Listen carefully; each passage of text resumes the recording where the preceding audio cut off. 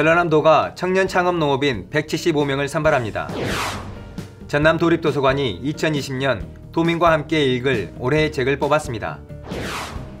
전라남도가 가고 싶은 섬의 관광 활성화를 위해 지역 주민을 섬 코디네이터로 키웁니다. 무설탕 잼을 만들어 창업에 성공한 농촌 청년 사업가 김주호 씨를 소개합니다. 새해 달라지는 제도와 시책 정리해 드립니다. 여러분 안녕하십니까? 생명의 땅 으뜸전남 도정뉴스입니다. 전라남도가 청년 농업인을 적극적으로 지원하는 정책을 추진합니다. 도는 농업, 농촌의 급속한 고령화를 막고 청년의 농업 분야 진출을 돕기 위해 청년 창업 농업인 175명을 선발합니다. 만 18세 이상부터 만 40세 미만의 영농 경력 3년 이하 청년으로 선발된 청년 창업 농업인은 3년 동안 한 달에 100만 원의 영농 정착 지원금을 줍니다. 또 3억 원 한도의 창업 자금을 지원합니다. 이외에도 농지 임대, 영농기술 교육 등의 혜택이 주어집니다. 전남 도립도서관은 2020년 도민과 함께 읽을 올해의 책으로 황정은 작가의 디디의 우산 등 모두 4권을 선정했습니다. 전남 도립도서관은 지난 9월부터 한 달 동안 지역 도서관과 학교, 독서 동아리를 통해 추천받은 도서 가운데 디디의 우산, 선량한 차별주의자, 체리새우 비밀 그립니다. 순재와 키완을 선정했습니다. 전라남도는 올해의 책을 중심으로 독서왕 선발대회, 작가와의 만남 등 다양한 독서문화 프로그램을 추진해 책 읽는 분위기를 만들어갈 계획입니다. 전라남도가 가고 싶은 섬의 관광 활성화를 위해 지역 주민을 섬 코디네이터로 키웁니다. 섬 코디네이터 양성 프로그램은 가고 싶은 섬에 거주하는 주민이 직접 자신이 사는 섬에 대한 관광 프로그램을 만들고 방문객에게 해설할 수 있는 역량을 키우는 사업입니다. 섬 주민의 삶과 지혜가 담긴 명소, 체험, 먹을거리를 더욱더 생생하게 알릴 수 있을 것으로 보입니다. 지난해 이 프로그램을 통해 섬 주민 23명이 섬 코디네이터로 활동하고 있습니다. 단맛은 그대로인데 열량은 낮고 혈당 조절이나 소화를 돕는 기능성 감미료가 주목받고 있습니다. 곡물당으로 무설탕 잼을 만들어 외국인의 입맛까지 사로잡은 농촌 청년 사업가 김주호 씨를 소개합니다. 함께 보시죠. 과일잼 만들기가 한창입니다. 보통 설탕을 넣지만 이곳은 설탕을 쓰지 않습니다. 설탕 대신 쌀에서 추출한 곡물당을 넣습니다. 쌀을 발효시켜 만든 당입니다. 어, 아무래도 설탕을 넣지 않고 저희 쌀에서 나오는 단맛을 이용해서 무설탕 잼을 만들고 있습니다. 곡물당은 2016년 농식품 파워 브랜드 대전 전통식품 부문에서 동상을 받은 기술인데 김주호 씨가 직접 개발했습니다. 설탕 대신 곡물당을 사용하면 당도는 기존 잼보다 약간 낮지만 과일 맛은 더 살아납니다. 또 곡물 발효액에 포함된 유기산이 신진대사와 피로회복에 도움을 줍니다. 김주호 씨는 귀농인입니다. 공대를 졸업하고 반도체 연구원으로 일하며 남부럽지 않은 생활을 누렸습니다. 하지만 딸이 아토피를 심하게 앓기 시작하면서 지푸라기라도 잡는 심정으로 고향인 고흥으로 귀농을 결심했습니다.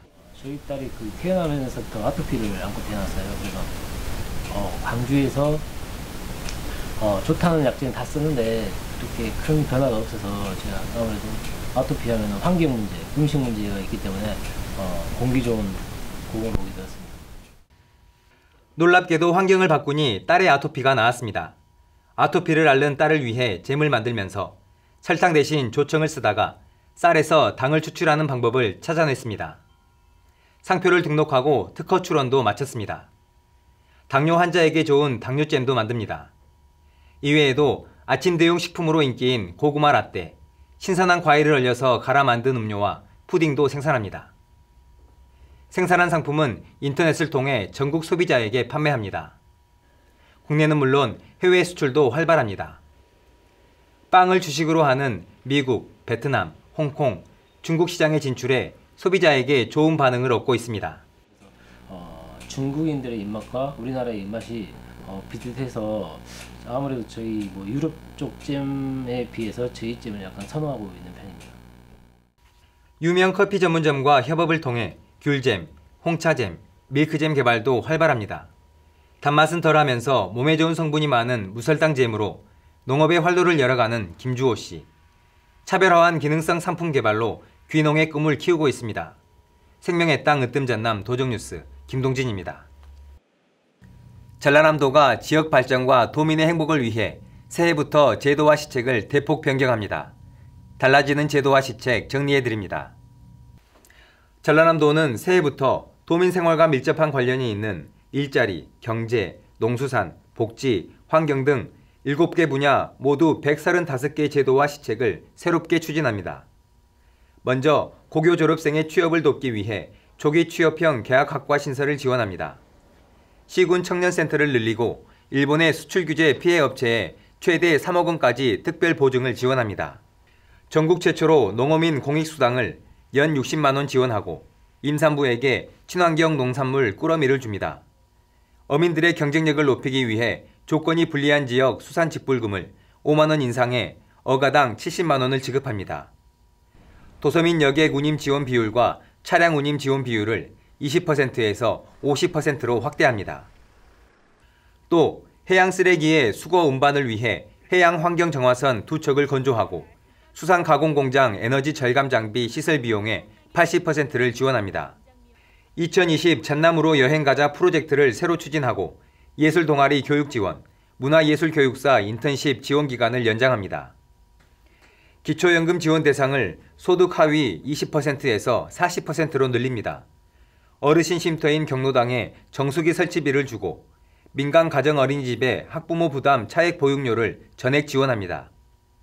다문화 가정 엄마에게 초등학교 과정을 교육하고 졸업 후 자녀를 가르칠 수 있도록 다문화 엄마 학교를 시범 운영합니다.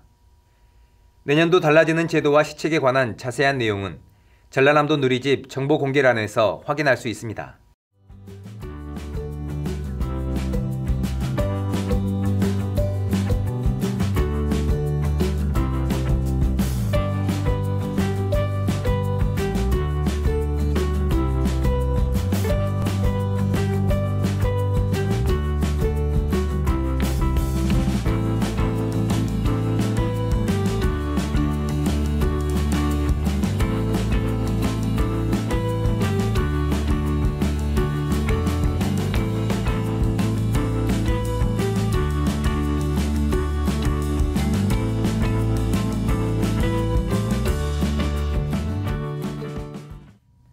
계속해서 간추린 소식입니다.